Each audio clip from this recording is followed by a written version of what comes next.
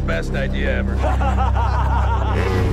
when Time magazine called 3D the future of movies. Three, two, one.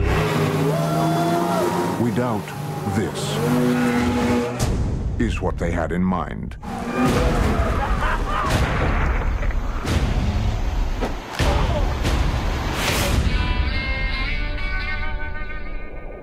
You're taking it to a whole other level. Yep. Look pretty happy about it. Me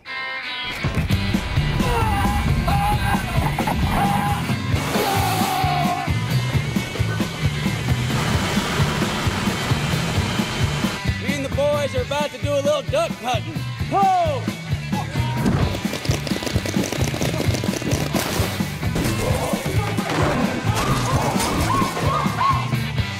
Santa did have a couple last night, so uh, this ain't gonna feel too good.